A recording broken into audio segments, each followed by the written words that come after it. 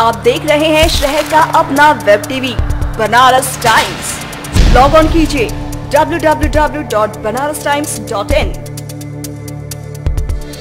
और www.cngtimes.com